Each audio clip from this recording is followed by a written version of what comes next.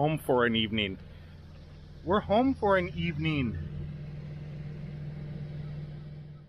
Spend the night in our own real beds tonight, Kat. At, at least for one night. She's really happy. When I, it's so funny. It's so hard to get her back into the truck when it's time to leave. But when I pull the truck up here and she sees the motorhome, she gets all happy. She knows we're here. And I can just pick her up and she's like, oh, happy. She wants to jump out of my arms and run straight over to the RV. Wouldn't do her no good. She doesn't have no thumbs. I mean, she can't open the door very easy. A lot of things have happened today that needed to happen. I went ahead, let me hide my everything, got my driver's license replaced because I lost my wallet, stopped by the bank and took care of that, which that was really frustrating, but it got taken care of. So in 10 days or so, I'll have a new ATM card. I'll have access to my money. Hard thing is, it'll be here in 10 days. I probably won't. So however long I'm gone until I get back to get my ATM card, I'm going to be without money. But that's okay. Something else came today from my company that is going to be used to generate money, hopefully. Let me show you what it is. Look at that. Cocky, uh, that should say Rick at Cocky Trucking, but it does say attention Rick. There's something in this envelope. As I'm ripping paper open, she's hyping out and running up and down the hall. Wait for it. Makes a noise in here. I see a shadow.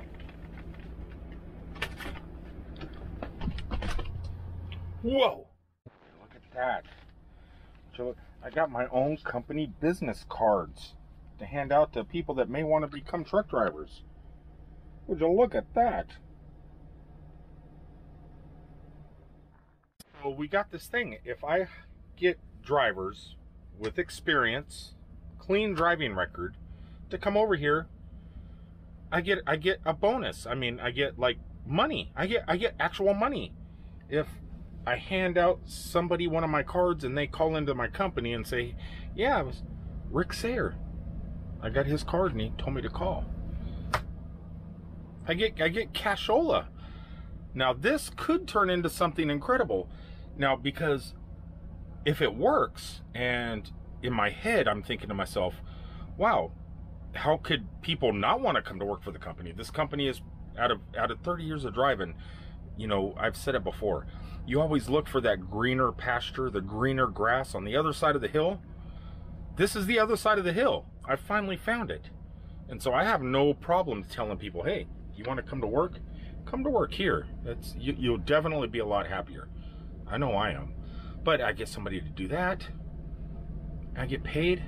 Now, if it works out, there's nothing stopping me from taking the motorhome out on the road, driving across the United States, and promoting this company and still getting paid for it, and getting out of my truck and RVing full time. This could be my ticket to doing that, or at least an assistant to doing that. Yeah. Let your success ride with us. This is so cool. I mean, come on. Trucking's nomadic, but RV is the nomadic I want to do, and this could help. I love this company. This company is so freaking amazing. I'm, I'm, just happy here. Also, last night I did something strange because I want to have a clean online presence and, and because eventually I want to make money off the internet and event and kind of make a living off of it over the years, I've really been trying to figure out the internet and how it works to, to help people. Specifically, help me. So there are those times where I will just Google my name. Sometimes with a separation of the first and last name, or sometimes just all as one word. My first name and last name together. Because you get different results depending on how you do the search. Anyway, so last night I did this and I came across something fascinating. It just blew me away. I never even knew this existed. I guess it's a real magazine. IEEE Technology and Society Magazine. Look at that. I found this last night doing a search for myself. And guess what I came across? Which this camera probably can't pick up the white pages. Going through there, starting page 16 interview on the road with Rick Sayer and Google Glass by the amazing Alexander Hayes. Let's go to page 16. Look, would you guys look at this? This is page 8, 9, 10, 11, 12, 13, 14, 15. Here it goes, guys. Here it goes. It's me on the road with Google. I never even knew this existed in a magazine. I'm going to have to contact them in Australia and see if I cannot have them send me a copy of this magazine. That is cool. No, I never knew it. Honest, I never knew this existed. The things you find when you Google yourself. It's weird because I did an interview for a university in Australia, Cambridge, I think it was, or Cambria, so, um, back in the day when we were all doing the Google Glass thing for Google. And it was a video interview. And uh, they, Alexander, uh, he was he's a professor at this university over there. Um, he contacted a bunch of us, a bunch of Google Glass users, and and just asked us all these questions. And then he put them together in video form and did a some sort of stage thing on a stage with an audience and stuff. And and I knew that happened, but I never knew that my interview actually ended up in a magazine. That's that's sweet. No one notified me. I, I would I would have contacted the editors and and said, "Hey man, send me a couple hundred of those things." That that's what I did when the Truck Driver magazine uh uh what was the name? Road King magazine did an interview with me. Uh I got I grabbed every, every I went to one truck stop and they were free at the door when you walk into the TA truck stops and Petro truck stops. I just grabbed stacks of those things and I was sending them to family and friends and uh, leaving them here at work, you know, hoping that it might give me a ones up with the higher ups, the food chain of my company, saying, oh, yeah, hey, one of our drivers is in a truck driving magazine. I thought that would have been cool. Didn't really help. I, I you know, you, you try and when you have that 15 minutes of fame, it's really cool because like I remember like driving across the state of Texas and somebody going, "Hey, Rick, Rick." I go, "I don't know this guy." Yeah, I read you I read that article about you in the magazine, you know, and then it's kind of cool. 15 minutes of fame is kind of cool, but it goes by very very fast. Sometimes you don't even know what happened like this. I didn't even know what happened. I wonder what it would be like if I went to Australia, if people actually read that magazine, if they would know me from that article. you know what? No matter what, none of this helps my YouTube channel grow. It just doesn't. I'm ready to get out of here. She's just kind of hanging out up front, relaxing. You look at her. I know she does not want to get back in that truck. But I'm probably not going to be leaving here until about 6 o'clock this evening. So there's a couple things I need to get done before I head out. One of them is mess with my generator.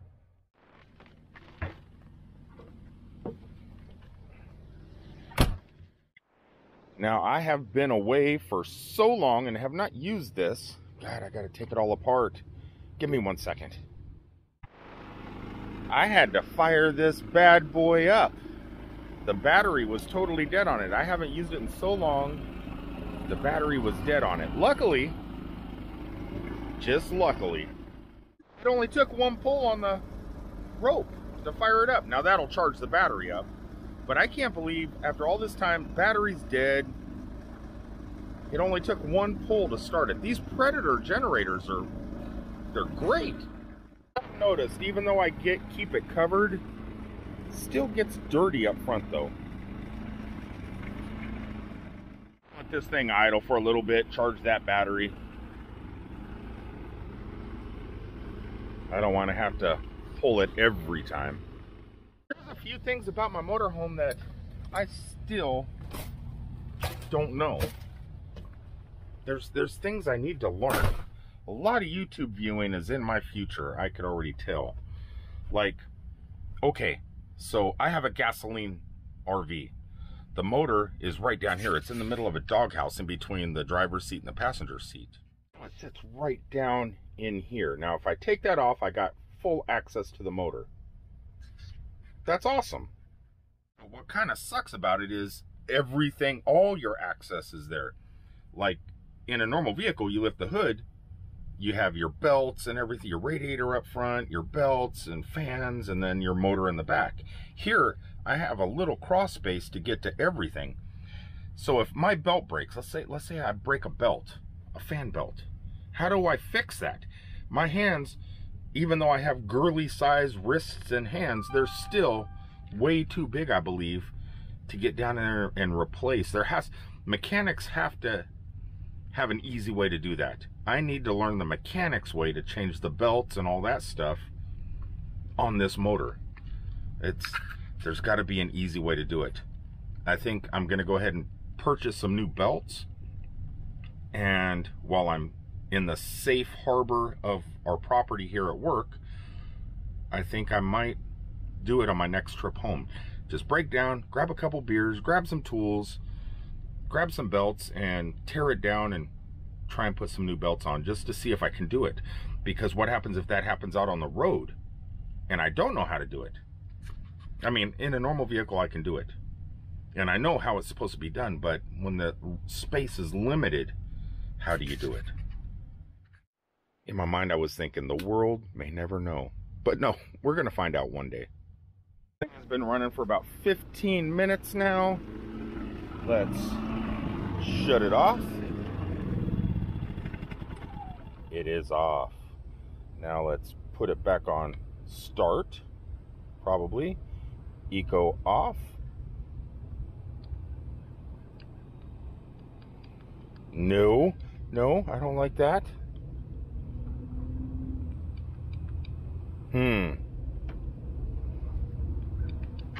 That battery must like totally be gone. What are you gonna do? What, what noise is that? What what noise is that? Ow. Ooh, sciatic nerve. Thought I heard a tractor, a lawnmower coming this way. They can't mow the lawn back here while I'm working on this. Well, I guess I'm just gonna go ahead and put this away, make it nice and clean until my next trip home. Guess I'm gonna have to purchase a new battery because I got the two year full replacement anything goes wrong with it warranty. They may they may even give me a new battery. I'm gonna go ahead, get the cat ready, get her in the truck a couple minutes early, let her get comfortable of being back in the truck after sitting in here for at least the last 15 hours, she is not going to be happy. But I'm going to go ahead and end this video with a teaser of a video to come. So what happened was, check this out. Last night, I'm sitting here and I don't use Facebook very often, but I do have Facebook, so you guys can follow me there. Not as Nomadic Hippie, but as Rick Sayer and uh, there's two accounts so make sure you're friending me at the right one same with instagram um, so I'm, I'm going through facebook and you know the first couple lines you go down you go in on this day back in five years ago or something you see a post from the past and then you start to get into the stuff that you recently posted and then there was a little little box that said facebook dating facebook dating okay, what is this? So I clicked it. and it specifically said, will not try, you know, it, it won't try and, and hook you up with people that are already in your friends list. It's specifically meant for dating. Facebook dating. Now, I'm not looking to date anybody. I'm, I'm, I'm having a, a struggle taking care of myself. But what does this entail? So I'm thinking on my next video, I'm going to sign up for it, take you guys along for the ride, and see what kind of girls out there in Facebook land would actually date someone like me. I bet they're all like Ukrainian models, Brazilian movie stars. I'm sure it's people like that, right? We're going to find out. Anyway, until the next time, when I start recording that stuff, I'll see you then. Please remember to like, comment, share, subscribe, and I will see you guys from out on the road from somewhere in the country. Love you guys. Peace out, everybody.